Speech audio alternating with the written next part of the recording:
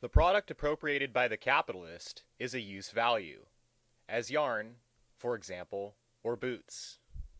But although boots are, in one sense, the basis of all social progress, and our capitalist is a decided progressist, yet he does not manufacture boots for their own sake. Use value is, by no means, the thing qu'on aime pour lui même in the production of commodities. Use values are only produced by capitalists, because, and in so far as, they are the material substratum, the depositories of exchange value. Our capitalist has two objects in view.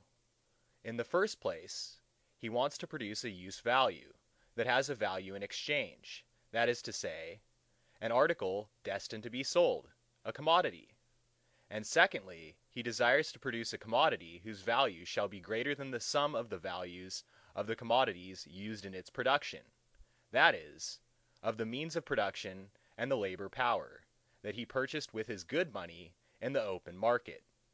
His aim is to produce, not only a use value, but a commodity also; not only a use value, but value; not only value, but at the same time surplus value. It must be borne in mind that we are now dealing with the production of commodities, and that, up to this point, we have only considered one aspect of the process. Just as commodities are, at the same time, use values and values, so the process of producing them must be a labor process, and, at the same time, a process of creating value. [Footnote: As has been stated in a previous note, the English language has two different expressions for these two different aspects of labor. In the simple labor process, the process of producing use values, it is work; in the process of creation of value, it is labor, taking the term in its strictly economic sense. Frederick Engels.] End footnote. Let us now examine production as a creation of value. We know that the value of each commodity is determined by the quantity of labor expended on and materialized in it; by the working time necessary, under given social conditions, for its production. This rule also holds good in the case of the product that accrued to our capitalist, as the result of the labor process carried on for him. Assuming this product to be ten pounds of yarn, our first step is to calculate the quantity of labor realized in it. For spinning the yarn, raw material is required; suppose in this case ten pounds of cotton.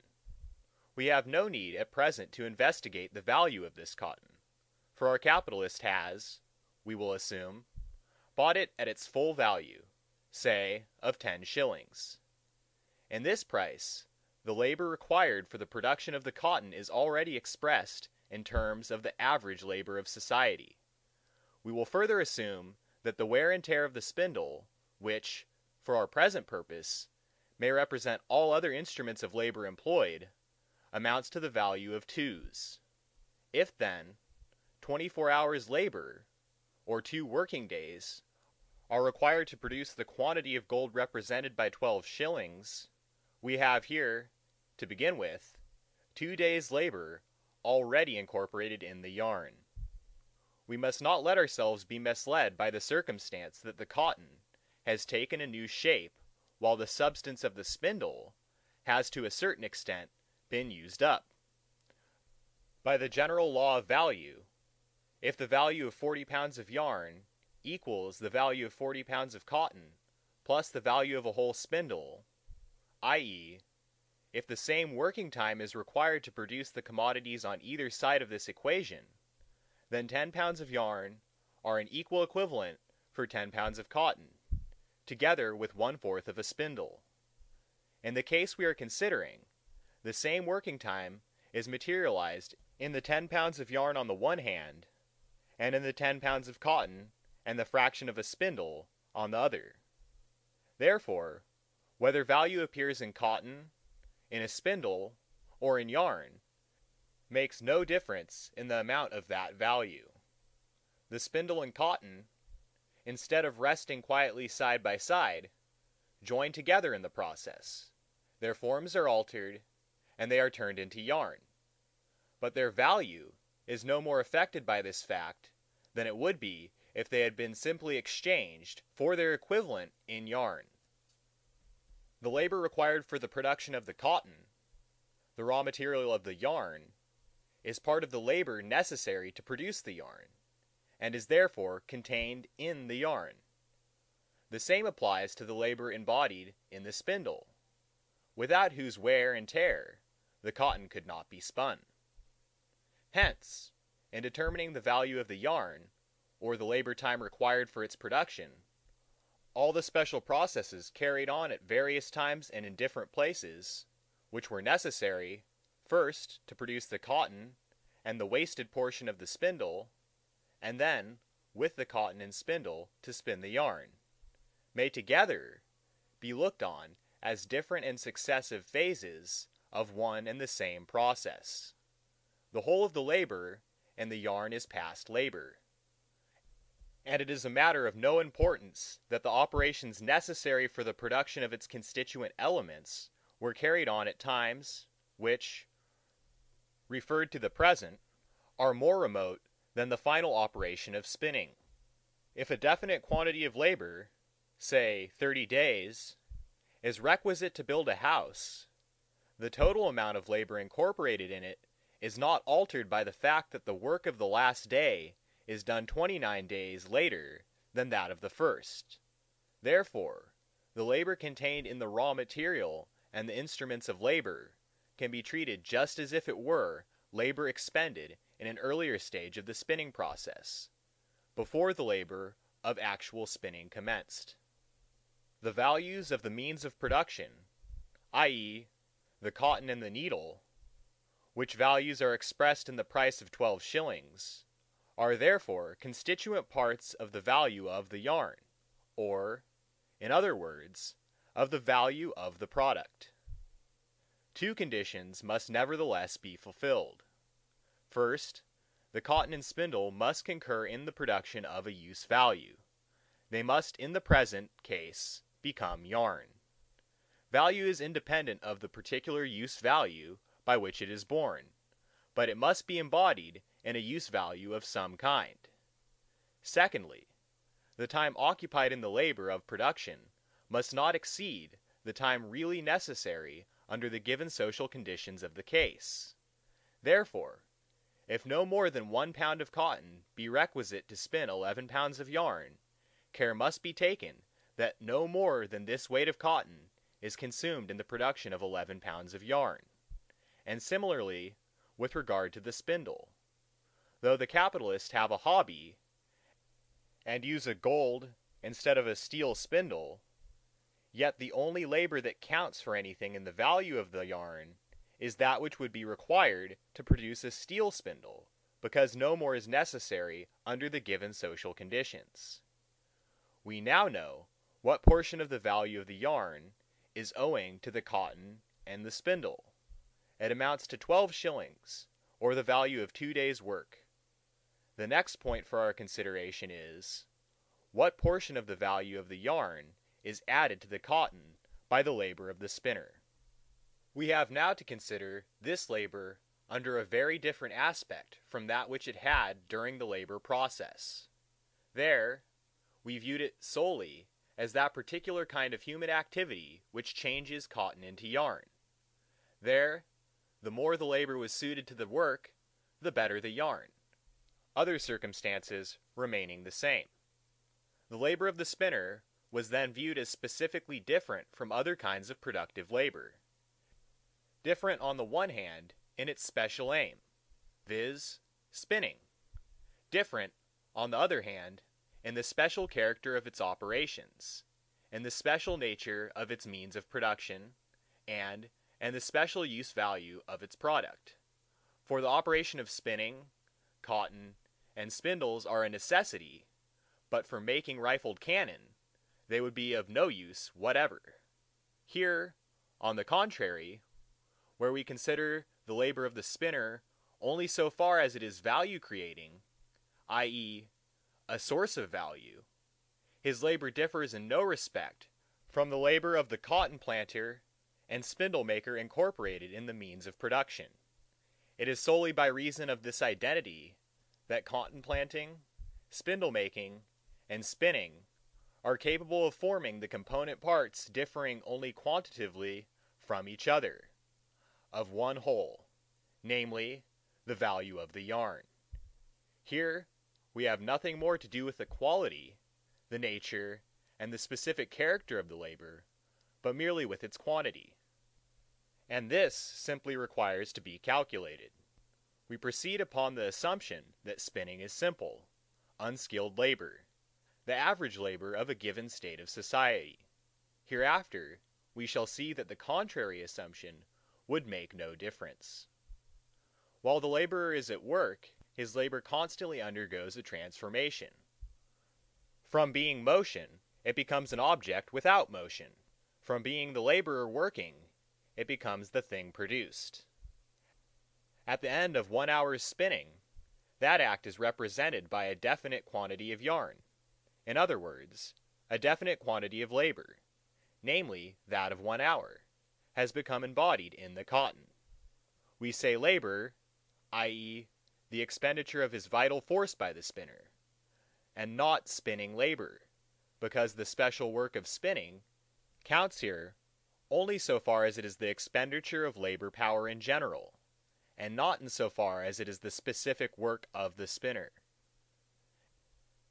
In the process we are now considering, it is of extreme importance that no more time be consumed in the work of transforming the cotton into yarn than is necessary under the given social conditions. If under normal, i.e., average social conditions of production, A pounds of cotton ought to be made into B pounds of yarn by one hour's labor, then a day's labor does not count as twelve hours' labor unless twelve A pounds of cotton have been made into twelve B pounds of yarn, for in the creation of value, the time that is socially necessary alone counts. Not only the labor, but also the raw material and the product now appear in quite a new light, very different from that in which we viewed them in the labor process, pure and simple. The raw material serves now merely as an absorbent of a definite quantity of labor. By this absorption, it is in fact changed into yarn, because it is spun, because labor power in the form of spinning is added to it. But the product the yarn, is now nothing more than a measure of the labor absorbed by the cotton. If in one hour, one and two thirds pounds of cotton can be spun into one and two thirds pounds of yarn, then ten pounds of yarn indicate the absorption of six hours' labor. Definite quantities of product, these quantities being determined by experience, now represent nothing but definite quantities of labor definite masses of crystallized labor time. They are nothing more than the materialization of so many hours or so many days of social labor. We are here no more concerned about the facts that the labor is the specific work of spinning, then its subject is cotton and its product yarn, then we are about the fact that the subject itself is already a product and therefore raw material.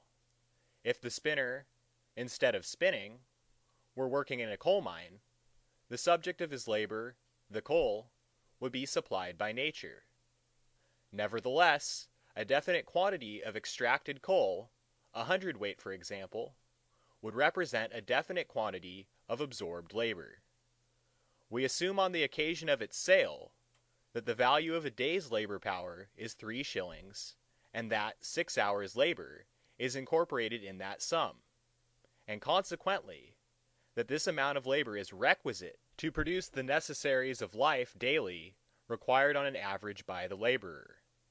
If now our spinner, by working for one hour, can convert one and two third pounds of cotton into one and two third pounds of yarn, it follows that in six hours he will convert ten pounds of cotton into ten pounds of yarn. Footnote These figures are quite arbitrary.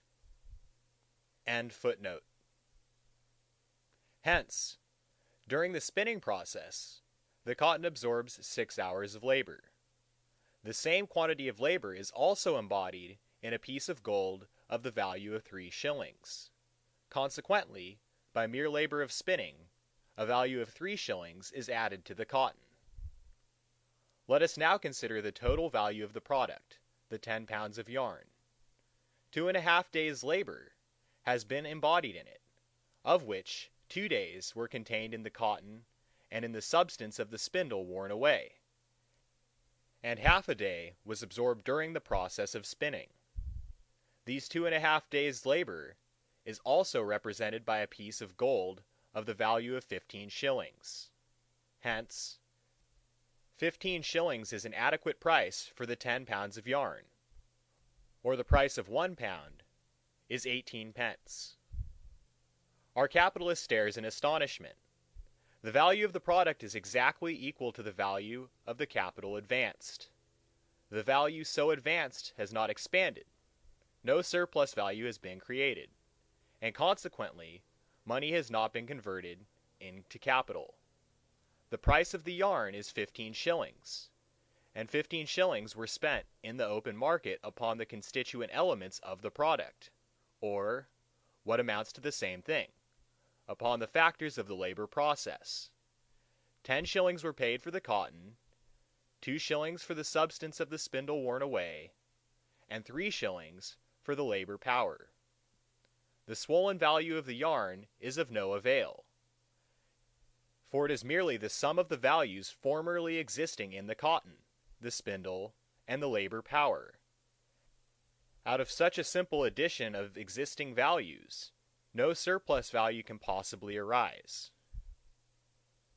Footnote This is the fundamental proposition on which is based the doctrine of the physiocrats as to the unproductiveness of all labor that is not agriculture. It is irrefutable for the orthodox economist.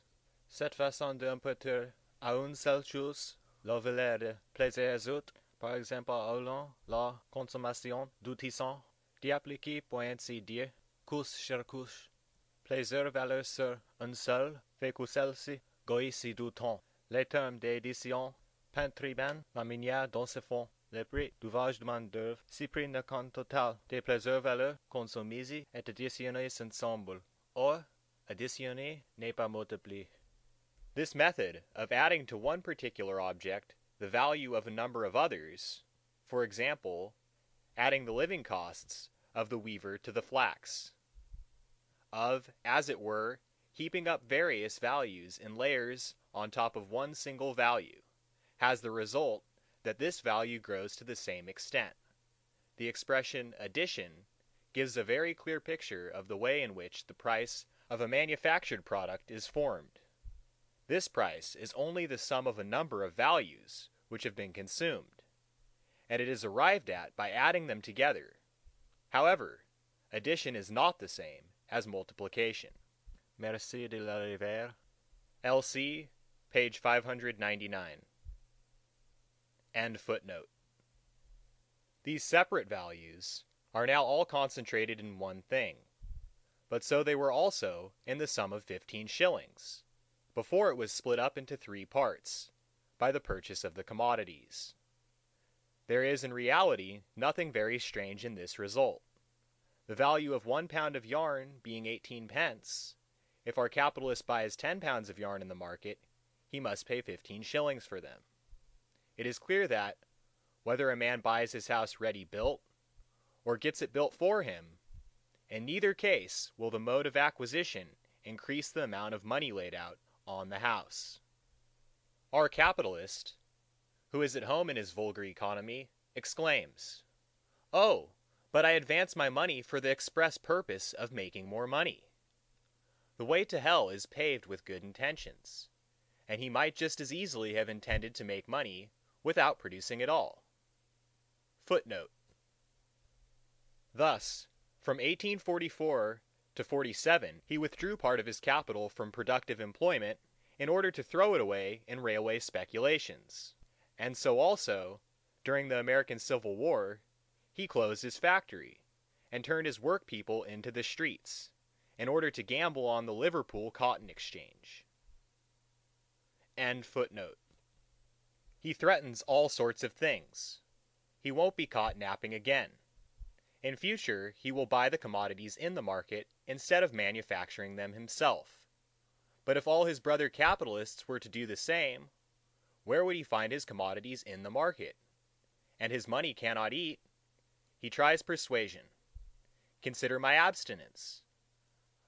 I might have played ducks and drakes with the fifteen shillings, but instead of that I consumed it productively, and made yarn with it.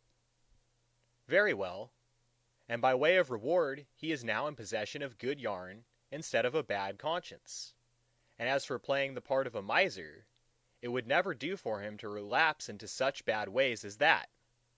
We have seen before to what results such asceticism leads. Besides, where nothing is, the king has lost his rights. Whatever may be the merit of his abstinence, there is nothing wherewith specially to remunerate it, because the value of the product is merely the sum of the values of the commodities that were thrown into the process of production. Let him therefore console himself with the reflection that virtue is its own reward. But no, he becomes importunate. He says, The yarn is of no use to me, I produced it for sale. In that case let him sell it; or, still better, let him for the future produce only things for satisfying his personal wants, a remedy that his physician, McCulloch, has already prescribed as infallible against an epidemic of over production. He now gets obstinate. Can the laborer, he asks, merely with his arms and legs produce commodities out of nothing? Did I not supply him with the materials by means of which, and in which alone, his labor could be embodied? And as the greater part of society consists of such ne'er do wells, have I not rendered society incalculable service by my instruments of production, my cotton, and my spindle, and not only society, but the laborer also, whom in addition I have provided with the necessaries of life? And am I to be allowed nothing in return for all this service? Well, but has not the laborer rendered him the equivalent service of changing his cotton and spindle into yarn? Moreover, there is here no question of service. [Footnote: Extol thyself, put on finery and adorn thyself.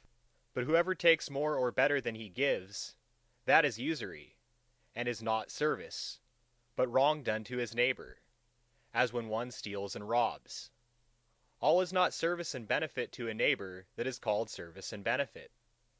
For an adulteress and an adulterer do one another great service and pleasure. A horseman does an incendiary a great service by helping him to rob on the highway, and pillage land and houses. The Papists do ours a great service, in that they don't drown, burn, murder all of them, or let them all rot in prison, but let some live, and only drive them out, or take from them what they have. The devil himself does his servants inestimable service. To sum up, the world is full of great, excellent, and daily service and benefit. Martin Luther, Antifahren wider den Wucher zu Reding, Wittenberg, 1540. End footnote.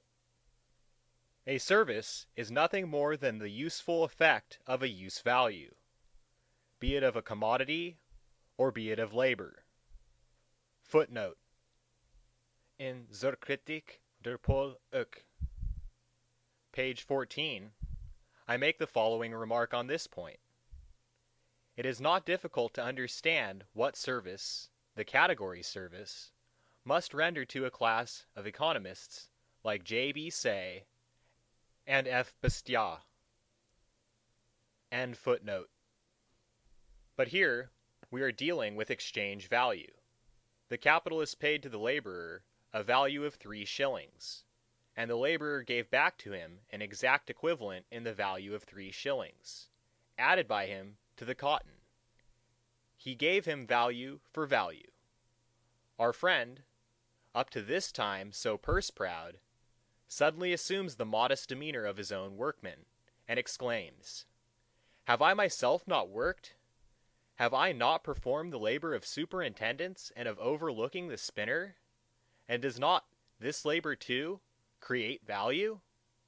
His overlooker and his manager try to hide their smiles. Meanwhile, after a hearty laugh, he reassumes his usual mien. Though he chanted to us the whole creed of the economists, in reality, he says, he would not give a brass farthing for it.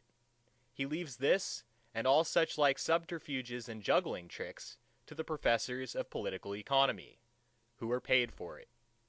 He himself is a practical man, and though he does not always consider what he says outside his business, yet in his business he knows what he is about. Let us examine the matter more closely.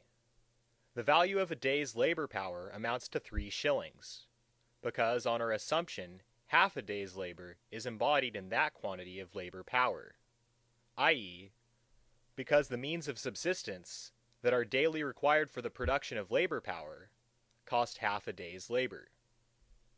But the past labor that is embodied in the labor power, and the living labor that it can call into action, the daily cost of maintaining it, and its daily expenditure in work are two totally different things. The former determines the exchange value of the labor power, the latter is its use value. The fact that half a day's labor is necessary to keep the laborer alive during 24 hours does not in any way prevent him from working a whole day. Therefore, the value of labor power and the value which that labor power creates in the labor process are two entirely different magnitudes.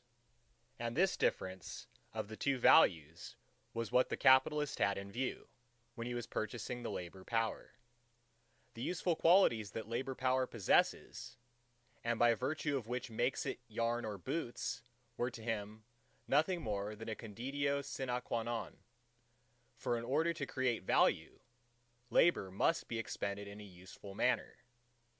What really influenced him was the specific use value which this commodity possesses of being a source not only of value, but of more value than it has itself.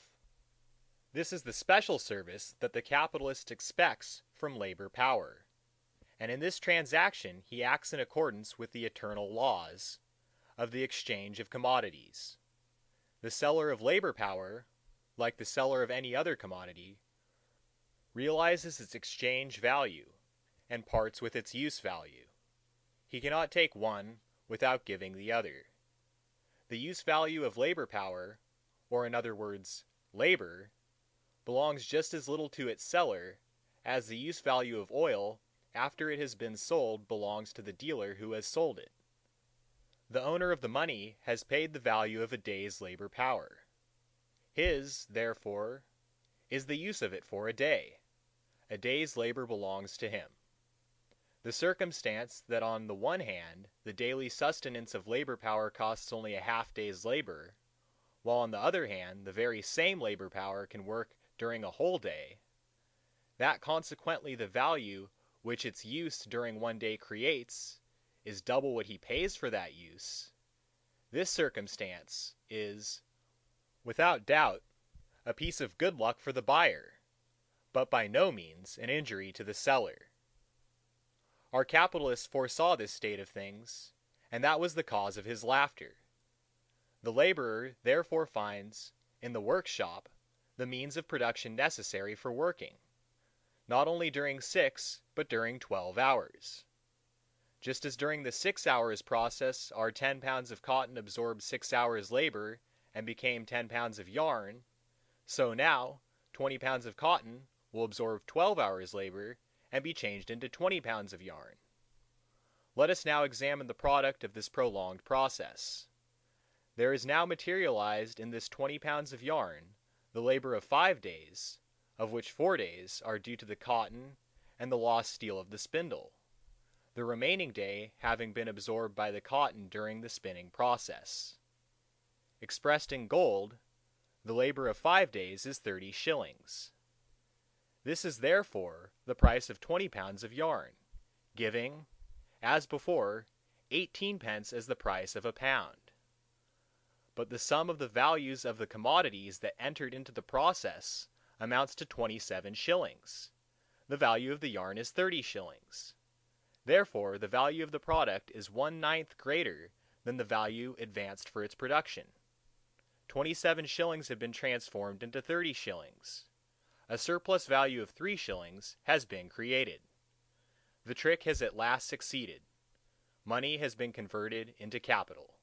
Every condition of the problem is satisfied, while the laws that regulate the exchange of commodities have been in no way violated.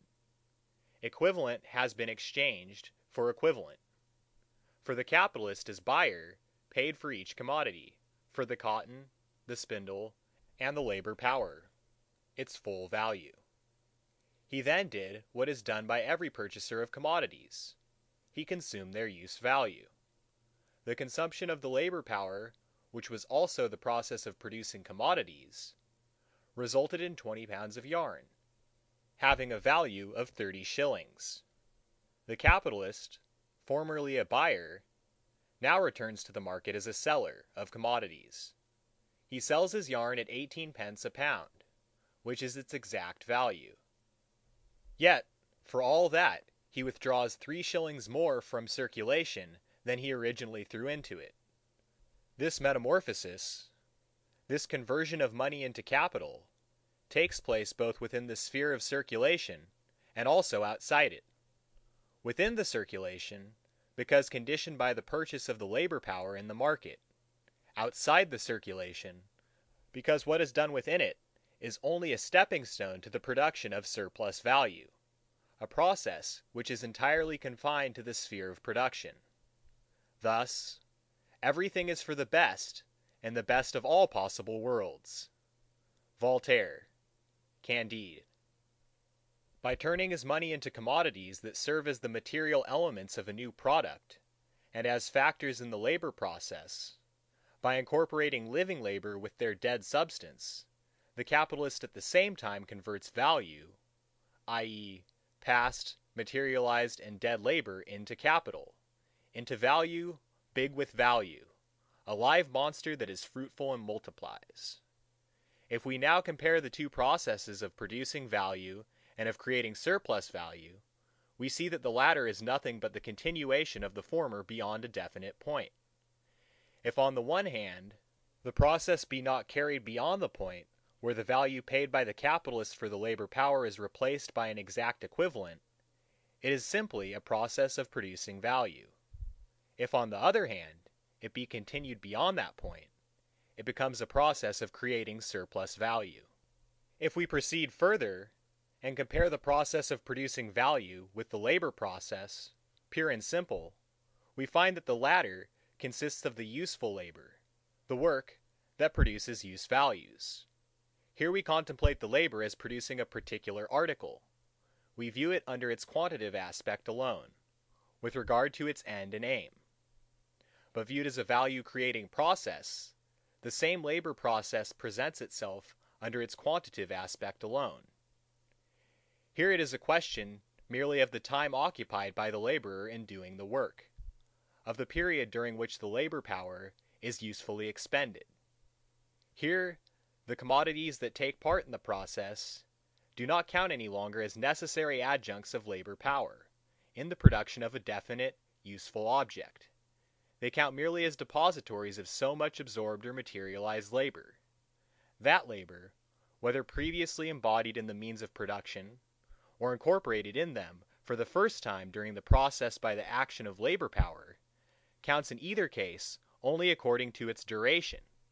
It amounts to so many hours or days as the case may be. Moreover, only so much of the time spent in the production of any article is counted, as under the given social conditions, is necessary. The consequences of this are various. In the first place it becomes necessary that the labor should be carried on under normal conditions. If a self-acting mule is the implement in general use for spinning, it would be absurd to supply the spinner with a distaff and spinning wheel. The cotton too must not be such rubbish as to cause extra waste in being worked, but must be of suitable quality. Otherwise the spinner would be found to spend more time in producing a pound of yarn than is socially necessary, in which case the excess of time would create neither value nor money. But whether the material factors of the process are of normal quality or not, depends not upon the laborer, but entirely upon the capitalist.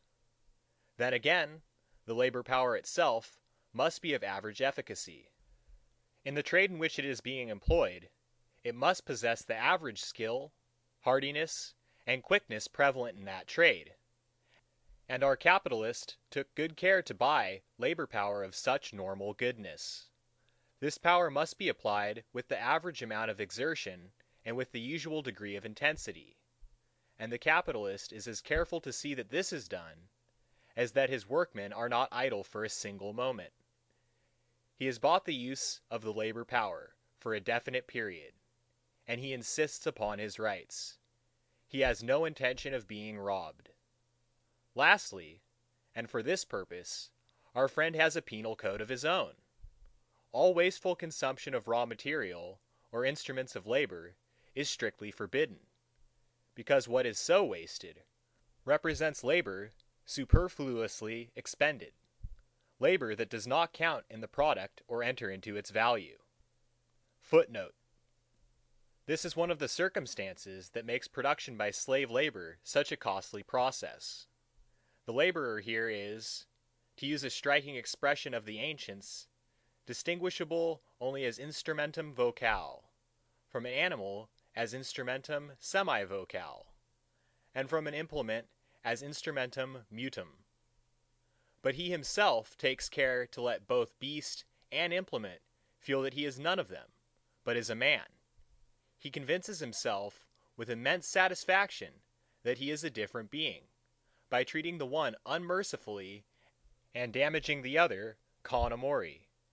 Hence the principle, universally applied in this method of production, only to employ the rudest and heaviest implements, and such as are difficult to damage owing to their sheer clumsiness. In the slave states bordering on the Gulf of Mexico, down to the date of the Civil War, plows constructed on old Chinese models, which turned up the soil like a hog or a mole instead of making furrows, were alone to be found. Conf. J.E. Cairnes, The Slave Power, London, 1862, p. 46 Sq.Q.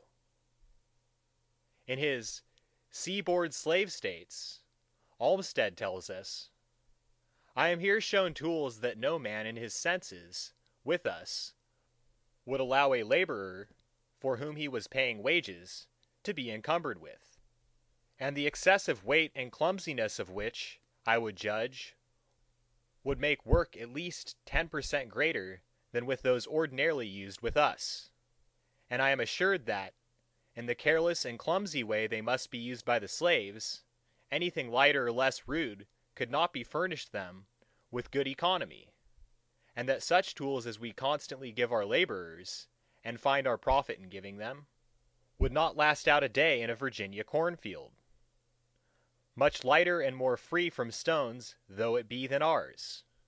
So too, when I ask why mules are so universally substituted for horses on the farm, the first reason given, and confessedly the most conclusive one, is that horses cannot bear the treatment that they always must get from negroes. Horses are always soon foundered or crippled by them, while mules will bear cudgeling, or lose a meal or two now and then, and not be materially injured; and they do not take cold or get sick, if neglected or overworked. But I do not need to go further than to the window of the room in which I am writing, to see at almost any time, treatment of cattle that would insure the immediate discharge of the driver by almost any farmer owning them in the North. And footnote. We now see that the difference between labor, considered on the one hand as producing utilities, and on the other hand as creating value, a difference which we discovered by our analysis of a commodity, resolves itself into a distinction between two aspects of the process of production. The process of production, considered on the one hand as the unity of the labor process and the process of creating value, is production of commodities considered on the other hand, as the unity of the labor process and the process of producing surplus value, it is the capitalist process of production, or capitalist production of commodities. We stated, on a previous page, that in the creation of surplus value it does not in the least matter whether the labor appropriated by the capitalist be simple unskilled labor of average quality or more complicated skilled labor. All labor of higher or more complicated character than average labor is expenditure of labor power of a more costly kind labor power whose production has cost more time and labor and which therefore has a higher value than unskilled or simple labor power. This power being higher value, its consumption is labor of a higher class labor that creates in equal times proportionately higher values than unskilled labor does.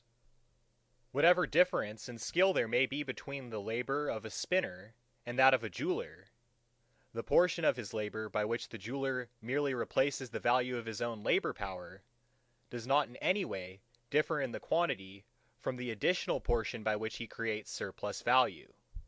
In the making of jewelry, just as in spinning, the surplus value rests only from a quantitative excess of labor, from a lengthening out of one and the same labor process. In the one case, of the process of making jewels; in the other, of the process of making yarn.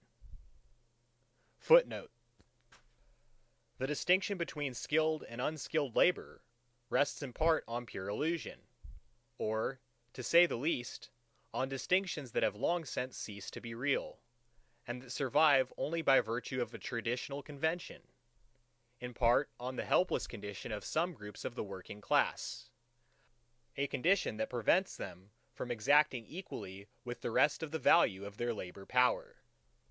Accidental circumstances here play so great a part, that these two forms of labor sometimes change places. Where, for instance, the physique of the working class has deteriorated, and is, relatively speaking, exhausted, which is the case in all countries with a well developed capitalist production, the lower forms of labor, which demand great expenditure of muscle, are in general considered as skilled, compared with much more delicate forms of labor. Take as an example the labor of a bricklayer, which in England occupies a much higher level than that of a damask weaver. Again, although the labor of a fustian cutter demands great bodily exertion, and is at the same time unhealthy, yet it counts only as unskilled labor. And then we must not forget that the so called skilled labor does not occupy a large space in the field of national labor. Laing estimates that in England and Wales the livelihood of 11,300,000 people depends on unskilled labor.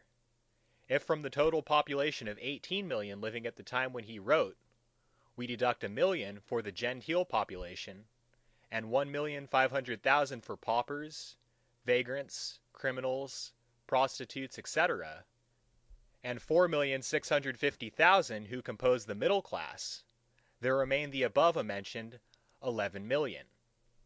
But in his middle class he includes people that live on the interest of small investments, officials, men of letters, artists, schoolmasters and the like, and in order to swell the number he also includes in these 4,650,000 the better paid portion of the factory operatives. The bricklayers too figure amongst them. S. Laing, National Distress, etc., London, 1844. The great class who have nothing to give for food but ordinary labor, are the great bulk of the people. James Mill, in article Colony, Supplement to the Encyclopaedia Britannica, 1831. End footnote. But on the other hand, in every process of creating value, the reduction of skilled labor to average social labor, e.g., one day of skilled to six days of unskilled labor, is unavoidable. Footnote: Where reference is made to labor as a measure of value, it necessarily implies labor of one particular kind, the proportion which the other kinds bear to it being easily ascertained. Outlines of Political Economy. London, 1832. Printed pages 22 and 23.] We therefore save ourselves the superfluous operation and simplify our analysis by the assumption that the labor of the workman employed by the capitalist is unskilled average labor. PART III. THE PRODUCTION OF ABSOLUTE SURPLUS VALUE. CHAPTER VII. THE LABOR PROCESS AND THE PROCESS OF PRODUCING SURPLUS VALUE. Section § 2.